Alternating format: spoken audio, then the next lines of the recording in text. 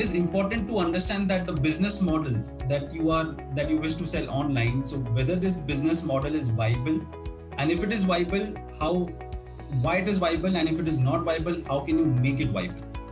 So it is important to decode that in which ocean do you wish to sell. So uh, so this is a, a metaphor. So if you are into the red ocean so that means there is a lot of competition in this ocean and that is why it is it is you can see a bloodbath in the red ocean if you're in the blue ocean so over here the the competition is less and over here you can achieve an organic growth so now when we talk about this red ocean and blue ocean, so it is it is not good or bad being in any of the oceans. It is but it is important to understand that if you're in the red ocean, what are the requirements? If you're in the blue ocean, then what are the requirements? So if you're in the red ocean, then in this business model, you need to look at inorganic growth because this is an inorganic growth model. So what do you mean by inorganic growth model? So that means to grow this business model, you need investors on board. You need heavy investments on board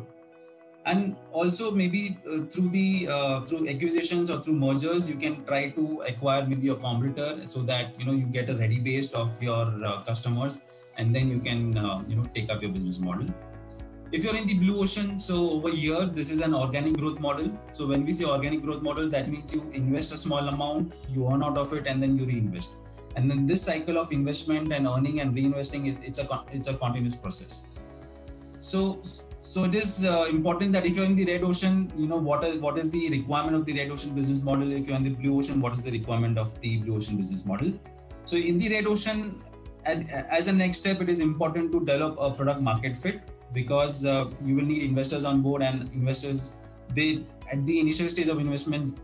they do look for a product market fit. So product market fit means so you have a product which has a huge demand to it but then you as a new company uh, as a startup company how are you going to cater to this demand?